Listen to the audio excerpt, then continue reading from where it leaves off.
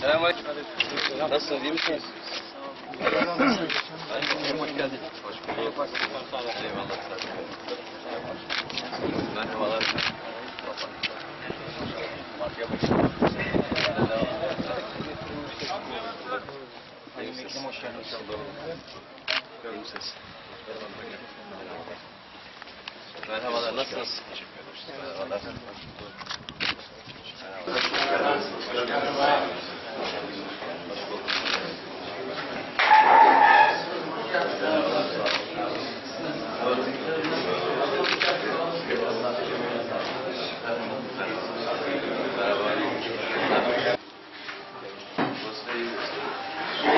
Günden beri hamdolsun köylerimizi, ilçemizi değişik kurumlarını, muhtarlarımızı dinlemeye, sorunları, sorunları yerine çözmeye gayret ediyoruz.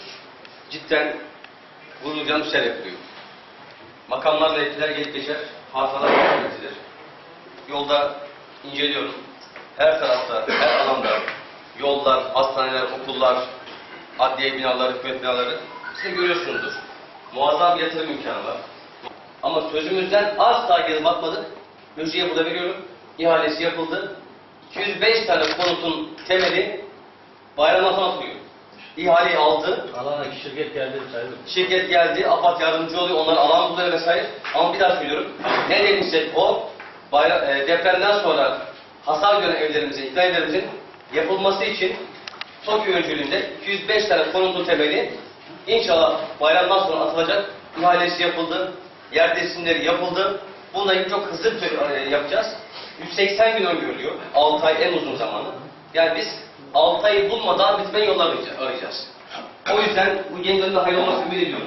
Ama onun yanında Yukarıköy, Çamkalabak ve Gürpınar'ın Kızılkeşili mahallelerinde üç yerde şu an başlıyor bunlar toplu hali- haliyle. Diğer yerlerimizde ver alanı bulamadığımızdan, hazinanesi bulamadığımızdan dolayı araştırma devam ediyor. Yani biz 205'e kalmayacağız. Devam edeceğiz.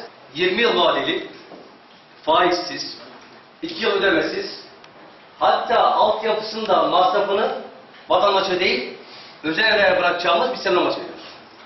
O yüzden biz arıyoruz. Elimizden geldiğince milletimizin dertlerini çözmeye gayret ediyoruz. Ha şunu söyleyeyim. Türkiye'de 15 yıldan beri de bu milletin sahip çıkıyor. Referandumda oy veriyor, genelde oy veriyor, genelde oy veriyor. Bak AK Parti belediye var. Destek oluyoruz. Çok işler yapıyoruz. Aynı şekilde Türk ilçemiz ayağa kalkıp işler yapıyoruz. Küçükkuyu Bedavet'ten burada elimizden gelen destek olmaya çalışıyoruz. Omuz vermeye çalışıyoruz. Mesele şu. Biz yanlış yapmamak için mesele arıyoruz.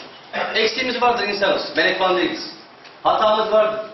Ama niyetimizi Allah da biliyor, siz de biliyorsunuz. Deniz kayalık olduğu için bir de orada altyapı pek mümkün olmuyor. Biz orada konteynerları koyarken dahi yerleşim alanı içinde.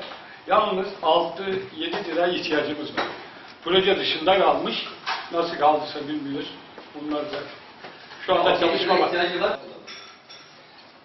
bizim Derekolu önümüzde grup yolumuz var. Şimdi bu grup yolumuz e, bu sene tamamı asfaltlama programına alınmıştı. Tamam. Ancak daha sonra bu Bu da, bu da. Benim köyüm 15 hane, Ayvaca 5 kilometre. Bir tane üstte oturuyor millet.